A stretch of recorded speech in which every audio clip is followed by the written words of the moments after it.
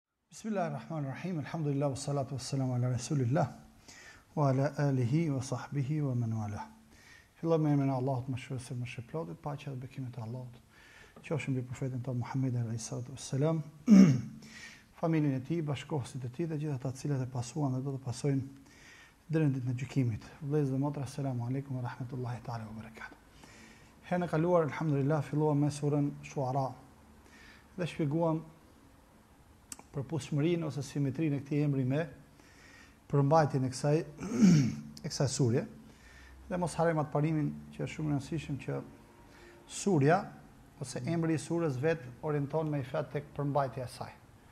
Ose që do të thotë tema e cila përputhet me emrin e surës është tema qendrore dhe kryesore e asaj e asaj sureje, edhe pse ka shumë detaje të tjera, të cilat nuk janë detaje, pra në aspektin e thjeshtësisë së tyre, sepse gjithçka në Kur'an është, le të themi, qendrore dhe e vlefshme. Por le të themi, edhe çdo sure në vetvete, ashtu si Kur'ani ka një bosht rreth të cilit, si me thënë, vërtiten edhe informacione të tjera ose më drejtë, si me thënë, ajete të tjera kuranore. Edhe ne thamë herën e kaluar që Boshti kryesor i kësaj teme është refuzimi dhe mohimi që bëjnë politeistët ndaj fjalës së Allahut të Madhërishëm duke akuzuar profetin si si poet. Dhe thamë herën e kaluar se nëpërmjet këtij emri Allahu i Madhërishëm na përcjell disa mesazhe. Mesazhi i parë roli e rëndësia e madhe e poezisë dhe letërsisë në vetvete. që është një armë shumë e rëndësishme si për mirë edhe për keq. Dhe e dyta gjë tërheq vëmendjen tek rëndësia e fjalës dhe zbukurimi i saj. Njëkohësisht tërheq vëmendjen kujdes me një fjalë me abuzimin dhe spekulimin nëpërmjet fjalëve, sepse me të vërtetë aftësia për poezi është një mirësi prej Allahut të Madhërishëm, mirëpo nuk mund ta përdorim për mirë, nuk e përdor për mirë përveç ata që kanë frikë Allahun e Madhërishëm. Mbas parimit që mirësinë e Zotit e përdor për hatër të Zotit ai që beson në Zot. Përndryshe në të kundërt, me një fjalë, njeriu si me thënë abuzon me të. Për shembull dynjaja në vetvete nuk është as e mirë as e keqe. Madje përkundazi mund të themi që dynjaja është e mirë, pra Allahu i Madhërishëm e ka krijuar për mirë, por njeriu e përdor për për keq. Kur është dynjaja e mirë? Kur njeriu e përdor për t'i shërbyer qëllimit të ekzistencës së vet që është adhurimi i Zotit, kur e përdor si le të themi terren ose pistë për të prezantuar me mrekullitë e Allahut të Madhërishëm, dhe kur e përdor për ta shfrytëzojë maksimalisht për të shtuar sevapin për për botën tjetër dhe kur e përdor në ndihmë dhe në përkrahje të fukareve dhe njerëzve në nevojë e të tjera si si puna e, e kësaj çështje. Herën e kaluar qëndruam tek ajeti kuranor ajeti 8. E ue lem yarau ila al-ard kam anbatna fiha min kulli zawjin karim. Ishte ajeti përpara, pra ajeti 7, Pra Allahu i Madhërishëm këtyne që mohojnë fjalën e Zotit u jep si argument në radhë të parë kë tokën të mbushur me çfarë me lloj lloj bimësh në çift, nuk na përmend thjesht me një fjalë le të themi bimën Allahu i Madhërishëm, por përmend me faktin me një fjalë që bimët janë çift. Zeuxhin kerim. Çift bimësh bujare, pra pjellore, kerim me një fjalë këtu në këtë rast pjellore që japin shumë. Po donte Allahu i Madhërishëm përfytyroni këto pemë që i kemi për rrugë. Po ça na duhen ato pemë, kanë rol, cili është roli? Pastrimi i ajrit është hija, proces fotosinteze shumë çe. Po doj Allahu i Madhërishëm këto pemë t'i bën ashtu. Të bukura si me thon po pa fruta. Dhe na jep Allahu i Madhërishëm herë pas herë argumentin. Çfarë argumenti na jep? Kumllat, mollat, arrat, dardhat, mandarinat, portokallat. Tre vjet bën, një vit s'bën. Ose bën shumë pak, ose ullijt. Pse na jep këtë Allahu i Madhërishëm për të na thënë që shikoni, kjo pema nuk prodhon vet. Po doj Allahu i Madhërishëm e bën shterp at pemën. Edhe bëhet të bën hije, han me thon konsumon lëndët e tokës, bën hije shumë bukur, shumë e bukur, por nuk jep fruta. Dhe po doj Allahu i Madhërishëm këto pemë t'i bën pa fruta. Pra na thot Allahu i Madhërishëm min kulli zeuxhin kerim, e kam pajis tokën me çfarë?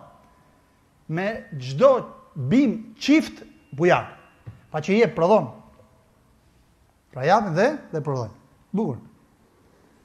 Pastaj na thot Allahu i Madhërishëm inna fi zalika la aya wa ma kana aktharuhum mu'minin. Me të vërtetë në këtë shembull ka argument. Por shumica e tyre nuk besojnë. Argument për çfarë? Pse na e sjell Allahu i Madhërishëm këtë? Na e sjell këtë argument për kë? Për ata që e mohojnë fjalën e Zotit. Po si ka mundësi me i fjalë? Në këtë shembull që ka të bëjë lidhje me bimët, ka argument me për vërtetësinë e fjalës së Zotit. Pra për të thënë Allahu i Madhërishëm njeriut, o njeri. Këtë mrekulli natyrore që ka krijuar Allahu i Madhërishëm, a je në gjendje me kriju ti vet? Pra një meditim shumë i thjeshtë, subhanallahu. Këto fruta që janë fruta të stinit, portokalli, mandarina, limoni, e me radhë që kanë veti ushqyse të jashtëzakonshme dhe kuruse. A është gjendje me kriju? Një thel portokalli ose një thel mandarini s'është gjendje me kriju. Ky Allah që i ka kriju këto fruta të mrekullueshëm dhe këto bimësi me i fjalë, këto drithra të mrekullueshëm, është ky Allah që e ka zbrit Kur'anin. Dhe ashtu si këto drithra janë, le të themi të mrekullueshme dhe bujare që japin vazhdimisht fruta, ashtu është me i fjalë ky Kur'an, fjala e të madhit Zot. Vazhdimisht është bujar. Pra e furnizon njeriu me fjalë me vërtetësi dhe me me dritë, me udhëzim. Elif Lam Mim Zalik El Kitabu La Rayb Hudal Lil Muttaqin. Elif Lam Mim ky është një libër që s'ka dyshim në të, është udhëzim për të devotshëm. Vazhdimisht. Ky Kur'an i përgjigjet njeriut në gjitha stadiet e jetës, që në kohën që ka zbrit deri në ditën e Kiametit. Madje nuk i përgjigjet njeriut vetëm nevojat e mëdha. Por çdo njeriu në vetvete i përgjigjet për nevojat e veta shpirtërore, psikologjike, psikiatrike, fizike, mendore, Morale, gjitha. Bukur? Sepse çdo njeri një çështje të caktuar e përjeton ndryshe. Për shembull, pasuri ndryshe e përjeton filani ndryshe filani. Varfëri ndryshe filani ndryshe filani. Smundje ndryshe filani ndryshe. Mund të jetë një smundje, po ndryshe e përjeton njëri ndryshe përjeton tjetri. Por gjithë këto gjendje Kurani ka xhevap, ka përgjigje.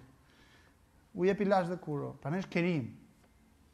Kitabun Kerim, libër bujar, se vazhdimisht e furnizon njeriun me dritë dhe me dhe me udhëzim. Dhe kjo cilësi e Kur'anit s'duhet harruar asnjëherë. Prandaj njeriu nuk ka nevojë me u kthy tjetër kund me marr dritë dhe udhëzim. I mjafton fjala e Zotit. Prandaj ky Kur'an ngreti një civilizim me një fjalë. Katërmbëdhjetë shekullor. Për katërmbëdhjetë shekuj, me një mijë e katërqind vjet, kanë kalu në faqe të dheut lloj civilizimi, lloj popujsh. Për katërmbëdhjetë shekuj, me një fjalë kanë marrë dritë nga ky Kur'an. Edhe vazhdon njerëzia të marrë dritë, pavarësisht se nuk e pranon. Se ky civilizim, pjesë e cilit jemi dhe ne, rranjët ku i ka këtu ke ky libër? Në shkencë, në mjekësi, në astronomi, në gjitha, në inxhinieri. Në okulistikë, në gjitha fushat, me këtu i ka. Ke dijet me një fjalë që nxorën dhe induktuan dijetarët muslimanë nga libri i Allahut, të mojë. Pra ky është libër civilizimi, Kur'ani. Pra është libër njerëzimi, nuk është libër për të lexu për sevap. As për ta majtë nëpër dollape. Pra kemi përmendë edhe herën e kalume. Edhe e përmend herë pas here. Kujdes me cilësia kryesore e sahabëve të Pejgamberit kush ka qenë. Se i janë kthy këtij libri pse? Për të marrë vazhdimisht dritë. Ushqemi ne tre herë në ditë ose dy vakte në ditë. Pse na duhet me vazhdu rrugën?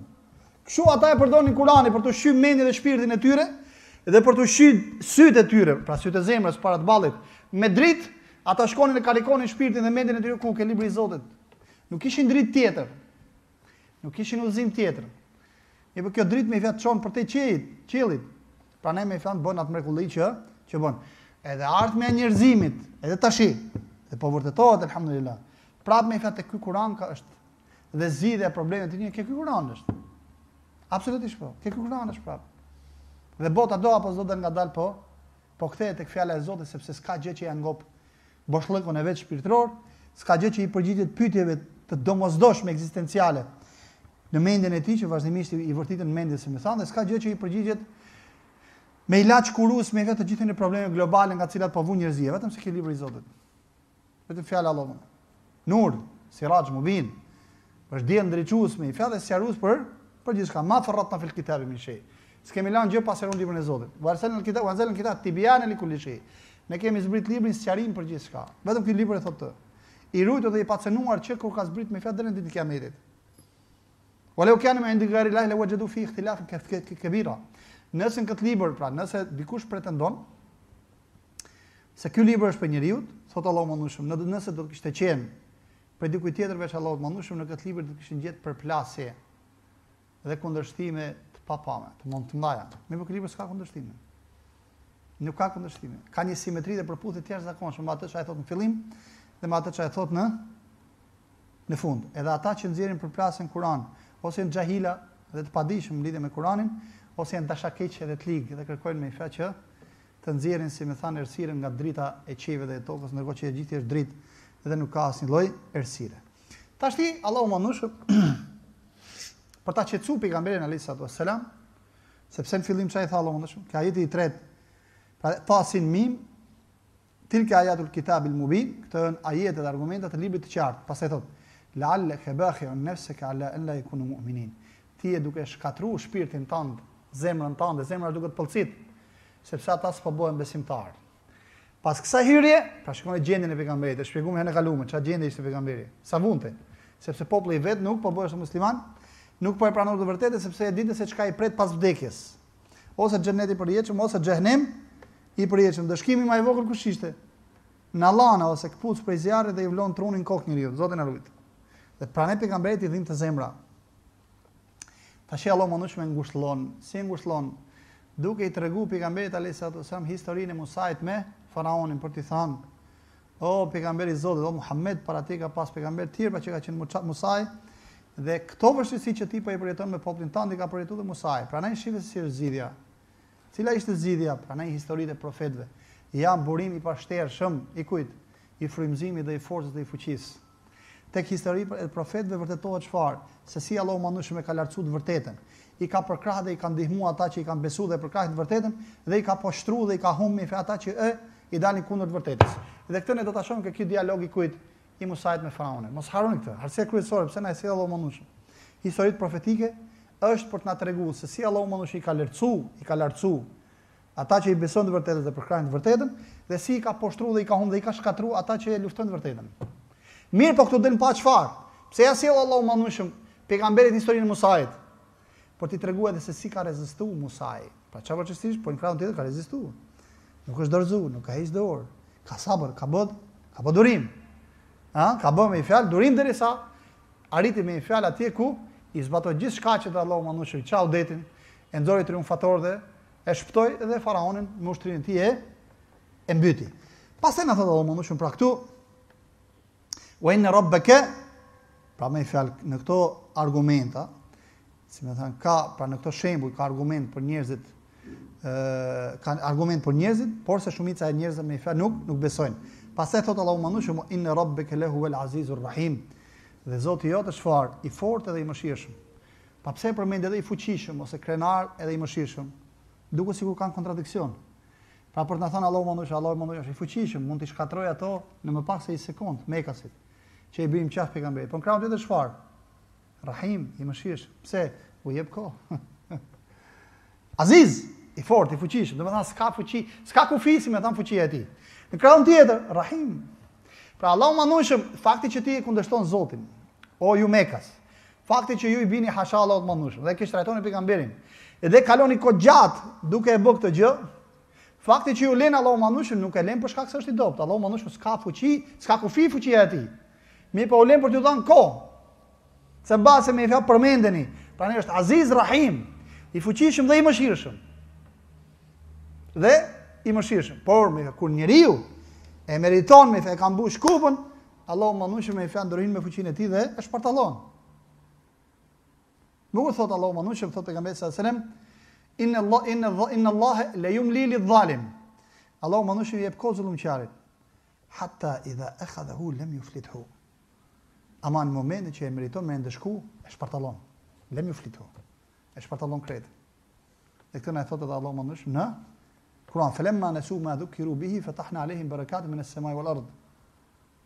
Dhe kur ata me fjalë e harrun përkujtimin, pra fjalën e Zotit, pra i ranë hasha dhe fillon ta kundërshtojnë, u hapëm hambarët e qiejve dhe tokës. Pra me fjalë pare pa hesab. Por me fjalë kur arritën kulmin e gafletit dhe të pavëmendjes, i shkatroi Allahu i Madhërueshëm. Kjo është ligji i Zotit. Pra ne i thotë i thotë zullumqarit, mos të rrejë dhe mos të mashtrojë koha e gjatë që kalon me fjalë duke bë zullum dhe duke hyrë në hak të njerëzve, mos të të rrejë kjo. Se Allahu i Madhërueshëm nuk flen asnjëherë, dhe nuk e kap koti asnjëherë dhe asnjë gjë me fjalë nuk nuk del jashtë vëmendjes së Allahut të të Madhërueshëm. Pra Allahu është Aziz Rahim, i fuqishëm dhe i mëshirshëm. Pastaj fillon Allahu i Madhërueshëm të na tregon historinë e Musait. Ku fillon historia e Musait? Që në momentin që ia shpalli Allahu i Madhërueshëm. Wa idh nada rabbuka Musa an i'ti al-qawm adh-dhalimin. Dhe kur Allahu i Madhërueshëm i thirri Musait, nada i thirri. An i'ti al-qawm adh-dhalimin. Shko te kush? Tek populli zullumqar. Shikon çfarë epiteti? Populli zullumqar. Popull zullumqar. Pse e morën këtë epitet? Jo thjesht sepse bën zullum, po e tepron me zullum dhe karakteristika e zullumit me fjalë dominante, popull zullumqar. Qawma fir'awna, kush ishin këta populli i faraonit ala yattaqun? A nuk kanë frikë? A nuk ruhen prej ndëshkimit t'Zotit? A nuk kanë drojë prej ndëshkimit t'Zotit? Ala yattaqun? Pra që në fillim shkoi Musa e çfarë? Shkoi me një fjalë ftues Fekula lehu kaulen lejjinen leallehu jetedhekkeru eu jahsha. Dhe flisni atij me një fjalë të butë, që ve, Musa, me Harunin, i thotë Allahu i Madhnushëm, shkoni ke faraoni, dhe flisni me një fjalë të butë, se mbase përkujtohet, ose i friksohet zemra. Edhe pse kishte arrit këtë zullum, edhe pse kishte arrit këtë zullum. Prapë me fjalë mëshira e Allahut Madhnushëm nuk ka kufi, prandaj mos harrojmë këto dy cilësi, Aziz, Rahim, i fuqishëm, i mëshirshëm. Po ta marrim në aktualitetin tonë, Nëse shifni një zullum, mos mendoni se Allahu i Madhnushëm nuk është i pavëmendshëm. Allahu ja di shumë mirë Allahu i Madhnushëm. Allahu inna rabbaka labil mirsad. Allahu i Madhnushëm është kështu çfarë? I ka në vëmendje, në fokus gjitha. Gjitha. Por është edhe çfarë Rahim i mëshirshëm. Derisa t'i dali borxhit njeriut më ja përfundimisht. Prandaj muslimani është i qetë. Edhe e kryen detyrën e vet si ftues në rrugë të Zotit, urdhërues për të mirë, ndalues nga e keqja me qetësinë më të madhe. Edhe çështja kryesore për cilën duhet ta vrasë mendjen muslimani kush është? Unë e kryj detyrën apo jo? Unë e realizoj detyrën time si ftues, si rregullues, si reformator, si përmirësues të gjitha kaq. Po tjetër, po, a, a mendon njeriu se i del jashtë vëmendjes së Zotit ndonjë gjë asnjëherë. Prandaj muslimani është i qetë. Dhe nuk i tremet syri edhe përballë zullumqarit. Edhe pas nuk i tremet syri asnjëherë. Pse? Se ka një Zot me një fjalë që e shikon. Edhe këtë detaj me fjalë ne do ta shohim këtu. Kur i thot Allahu i Madhnushëm Musës. Wa idh nada rabbuka Musa an i'ti al-qawm adh-dhalimin. Shko ke populli zullumqar. Qawm Firaun ala yattaqun. Ke populli Firaunit që t'ruhen, që yattaqun, t'ruhen. Nga ndëshkimi i Zotit. Pra të përmend. Qala Rabbi. Shikoni tash Musa me natyrën e vet njerëzore. Inni ekhafu en jukedhibun, unë kam frikë se do më përgënjeshtrojnë. Pra njeriu si vet, me ça edukate të lartë ishte rrit Musai. Frika nga kush? Jo, kam frikë se do gënjej. Ose do më tradhtojë gjuha. Jo, kam frikë se do më përgënjeshtrojnë. Pra ishte rrit me cilësinë e kujt? Të turpit. Cilësinë e karakterit fort, cilësinë e kujt? E personalitetit. Bul, ça i thot Allahut Madhnushëm. Wa yadiqu sadri, vazhdon Musa. Dhe kam frikë se çfarë? Kam frikë se do më ngushtohet krahërori dhe gjuha ime s'ka me m'u zgjidh.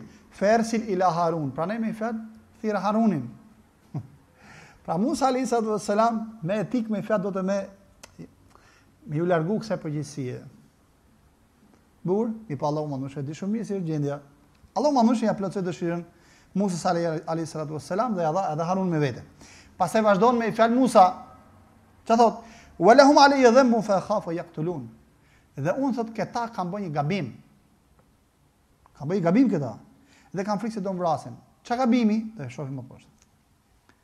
Kale kella, tha Allahu i Madhnushëm, absolutisht jo, fedhheba bi ajatina. Shkoni që të dy me argumentat tona, që me? Shkoni me argumentat tona. Pra ti do jesh i shoqëru me kë, me argumentin e, e Zotit. Inna, ta shifni këtu, inna meakum mustemiun. Ne, thotë Allahu i Madhnushëm, jemi me ju, pra unë thot jam me ju dhe ju dëgjoj. Qa do një pak këtu që kjo gjendje e faraonit nuk është se i kishte mungu Allahut të Madhnushëm. A ishte në gjendje Allahu i Madhnushëm me shpartallu faraonin, siç e shpartalloi faktikisht, ishte. Mirëpo pse me një fjalë, e kishte vonu deri sa të çojë Musain a.s. Dhe Allahu i Madhnushëm e din me një fjalë sepse me urtësinë e tij ka vonu Musain, nuk e ka çu që në fillim. Allahu i Madhnushëm e din. Pa që para me një fjalë, se ë si me thanë faraoni ta teprojë me zullum. Faktikisht nëse ju kujtohet, e kemi trajtuar edhe këtu, po edhe në hutbe. Ku fillon realisht historia e Musait alayhis salam? Dhe ku fillon realisht ringritja e Benu Israilëve? Që me lindjen e Musait alayhis salam dhe me hedhjen e tij ku në lum. Që aty fillon ringritja e Tash prej aty deri sa Musa alayhi salatu wasalam u bë profet. Në përgjithësi profetët sa vjeç janë? 40. Pra 40 vjet hala jemi ku këtu? Ke Musa alayhi salatu wasalam deri sa shkon si profet. Pra 40 vjet, subhanallahu. Pra me një fjalë Allahu i Madhnushëm i premton kujt? Benu Israilve, se ne do t'ju lartësojmë, ju që jeni dobët kemi ju lartësu. Historia e lartësimit, kur fillon? Që në momentin e Musait, a.s. Që u hodh ku dhe fillon me dobësi, jo me forcë. U hodh ku? U hodh n'lumë. Ku shkoi? Ja tash urtësia. Shkoi dhe u rrit ku? Në prehrin e zullumqarit, që ishte kush faraoni. Por, pra 40 vjet ma mrapa, sa zgjat procesi i reformimit, dhe vetëm me këtë informacion, Allahu i Madhnushëm i thotë profetit, duhet durim edhe profet. Me përmirësu gjendje po duhet durim. Pra premtimi i popullit i Allahut të Madhnushëm i shkoi Musait, i shkoi Faraonit, i shkoi me një fjalë Benu Israilëve. Dyzet vjet para se Musai të bëhet profet, pra që në momentin që atë ditë që lindi Musai alayhis salam. Dhe pas dyzet vjetësh Allahu i Madhnushëm ua solli kë shpëtimtarin. Kaq duhet me duru, normal. Populli që don me u ngrit, duhet me punu, vazhdimisht me edhe duhet me duru. Duhet me rezistu, deri në, deri në fund. Inna ma'akum mustami'un, pra Allahu Madhnushëm e mshtet Musain duke i thënë, me dy gjëna. Pra tre tre premtime, tre ndihma. E para argumentat tona, kush janë argumentet? Dhe thotë Allahu Madhnushëm. Pra ishte dora e cila kur e nxirrte nga xhepi, kur e nxirrte Musai nga xhepi, dukeshte e bardhë dritë, edhe shkopin kur e hidhte, i bëheshte gjarpër i vërtetë. Kujdes. Gjarpër i i vërtetë. Plus kësaj e tha Allahu Madhnushëm, un jam me ju. Dhe ju dëgjoj, pra jeni në vëmendjen time. Fe'tija firaune, fe kula inna resulu rabbil alemin. Shkoni tek faraoni dhe thoni çfarë, ne jemi profetët e Zotit të botrave. Shikoni, Zotit të botrave. Pse ja bën këtë prezantim Musai a.s. Këtë prezantim i bën Allahut të Madhnushëm para faraonit. Se faraonit i dukeshte vetja çfarë, Zot, po Zot i kujt?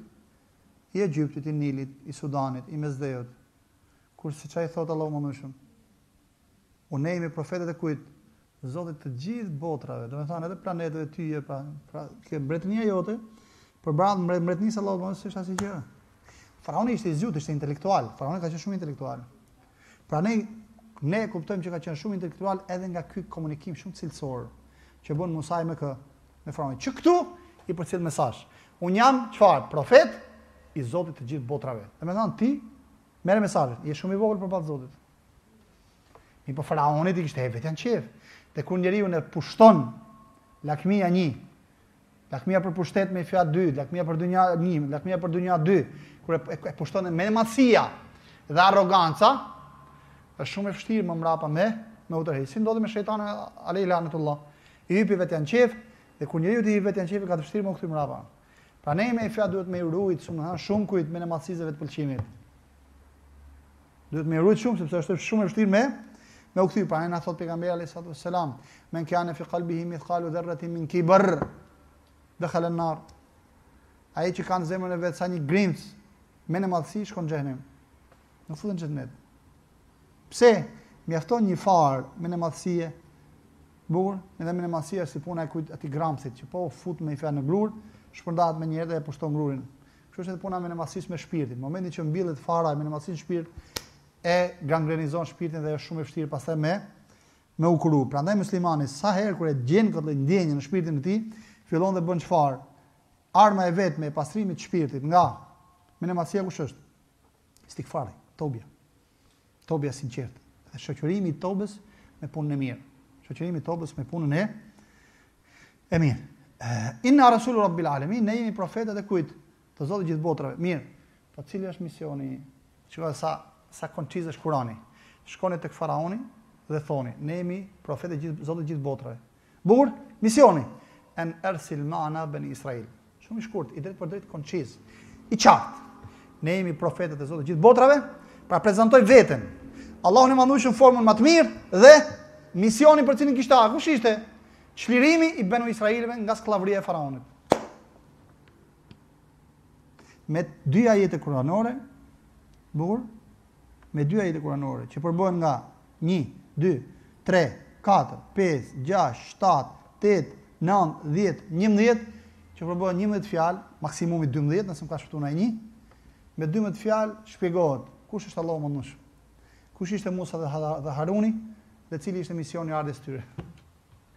Thuhet për një person nga Kinda, andej nga bota arabe, jugu i gadishullit arabik, tha unë tha do ngujohem 6 muj, 6 muj, për të sjellë diçka si puna e këtij kurani.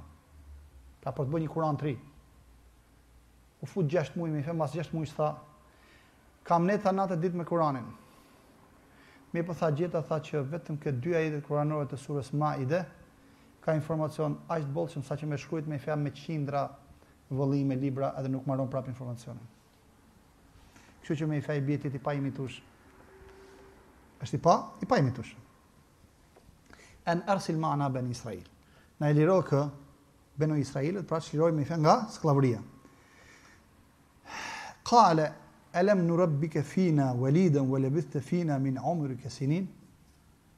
Tashi shifeni, ku shkon faraoni? Shkon të ke kaluara e kujt? E Musait. I përmen kë? Të kaluarën. Ça i thot? A nuk je ti ai që të kemi rritë ne që kur ke qenë i vogël, që kur ke qenë foshnje, rritë të kena. Ue lebithte fina min umurike sinin, Dhe ke qëndru tek ne me fjalë vite prej moshës tate prej jetës tate? Pastaj thot, a ja përmend shkuarën. Wa fa'alta fa'alatak allati fa'alta wa anta min al-kafirin. Dhe bëre atë krimin tënd të madh që bëre. Ndërkohë pra me fjalë që ti na vjen mohus, pra mohon me fjalë, mohon mu, si Zot edhe mohon të mirën time. Pra me fjalë përmend të kalumen një dhe përmend kë? Gabimin që ka bën kalumë. Çfarë mesazhi marrim ne sot? Pra ruje vetën, ruje vetën. Edhe në marrëdhënie me njerëzit, mundohu që të jesh sa më serioz. Bashkëpuno me njerëzit, por ruje personalitetin tënd. Mos e shtri dorën kollaj. Bur, lodhe veten. Pse me fjalë mund të vjen ai horr si puna e faraonit, në një moment se të ta përmend e të mba peng. Kujdes nga gabimet me njerëzit. Kujdes nga gjynafet me njerëzit. Pse? Sepse vazhdimisht me fjalë njerëzit ta shoqërojnë Dhe veçanërisht ata që janë horra si puna e kujt? E faraonit. Bur, ruju, thot. Kujdes me këta me të kaluarën tënde.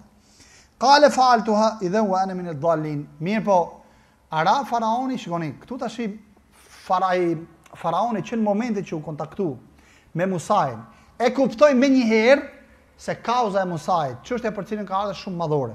Dhe e kuptoi menjëherë tre mesazhet e Musait, që në momentin e parë, jemi profet të Zotit, e dyta, Allahu është Zoti i gjithë botrave, e treta. Misioni është shumë i qartë. Çliroji Benu Israilët. Tashti përballë këtij misioni kaq të qartë, përballë një Allahu që është Zoti i gjithë botrave, dhe përballë Musait që është profet dhe ai e kuptoi shumë mirë se me çka ka të bëjë. Ai zgjodhi, se ishte shumë i zgjuar, thash pa kursim, faraoni ishte intelektual, ishte shumë i zgjuar. Ai zgjodhi çfarë? Të përballet drejtpërdrejt me me me kauzën e Musait, të diskutojë në këto çështje që parashtroi Musai, jo. Ça zgjodhi? Zgjodhi me fjalë hilen në polemikë. Pra transferimin e vëmendjes. Dhe kjo është ajo që na bëhet na ndodh ne shpesh në shumë raste ne muslimanëve. Ja çfarë bë Franca ti më terrorizmi ja ti më radhë shkoi me musliman dal me deklarata, jo po s'jemi terroristë. Bur Musa alayhi salatu wassalam i thot çfarë? Po unë i kam bërë gjitha këta. Unë gjitha këta. Dhe e pranoj gabimin tim. Po në kraun tjetër? Pra Musa alayhi salatu wassalam nuk mbeti skllav i shkuarës tij, se çdo kush mund të ketë probleme me të shkuarën e tij.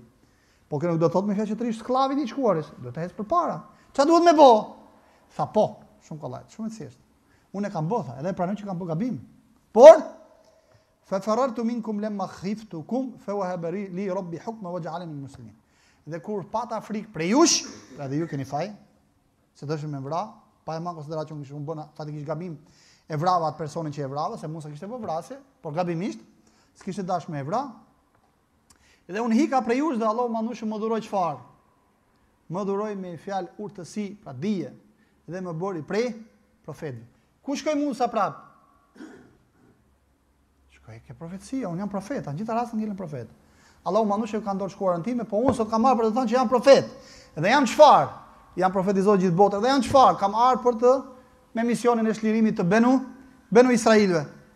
Edhe prapë me një fjalë Musai kalon në sulm. Ue tilke niëmetun temunnuha aleje en abbedte beni Israil. Edhe ti më kalon mua me një fjalë më përmend shkuarën time, që ti më ke bo nder, më ke mbajt, më ke rrit. Ndërkohë që ti ti me një fjalë ke skllavru benu Israilët, a mund të krahasohet me një fjalë zullumi jot? A mund të krahasohet zullumi jot? Që ke bë këtu e kaq e kaq dekada ndaj benu Israilve me gjynahin tim? Unë vrava një, po ti që ke bo? Ke vra 1 milion e 500 mijë në Algjeri. Ke vra 800 mijë në Afrikë të Mesme. Ke vra me qindra mijë në tërma e të poshtë. Je duke me një fjalë si piavicë apo si shushunjë, je duke i vjedh pasuritë e popujve. E ti do me barazu me gjithë këto krime madhore që i ke vra me gjakftohtësi më të madhe. Po i shikon edhe fotot sot që qarkullojnë nganjëherë nëpër internet. Do me barazu me një fjalë me një krim banal, makabër normalisht. Që bëri një budalla, me, një i çmendur, shkoi i preu kokën aty, Është krim normalisht, po barazohet ky me këtë krim. Pra gjithë këto zullume të mëdha dhe këto krime i barazon me këtë, dhe akuzon me një fjalë një umet, me një fjalë akuzon një fe e tjer me radhë. Po kjo fe t'i ka çel sytë, se ti ke pas jetuar në llucë. Në bajga ke pas jetuar. Ky islam të çeli sytë dhe të dha civilizim. Dhe të tregoi edhe vendin me një fjalë, edhe të tregoi me, se si me me jetu si njeri. Kush je ti merr guximin, ha, për 1 2 3 4. Dhe Zoti e din me një fjalë se ça natyre kanë ato krime dhe cila është prapaskena aty e. Atij krimi me një fjalë që ka bë ai person. Kët menhexh dhe kët metodologji ne na e viziton Allah, vizaton Allahu ku. Ke ky dialog me një fjalë i Musait me faraonin. Mos rri thotë me një fjalë si në qoshe aty, si mi si miu ose si ajo maca në qoshe. Po burra dhe më shpritën. Po më, po, është vërtet. Po në krahun tjetër? Misioni im është tjetër gjë.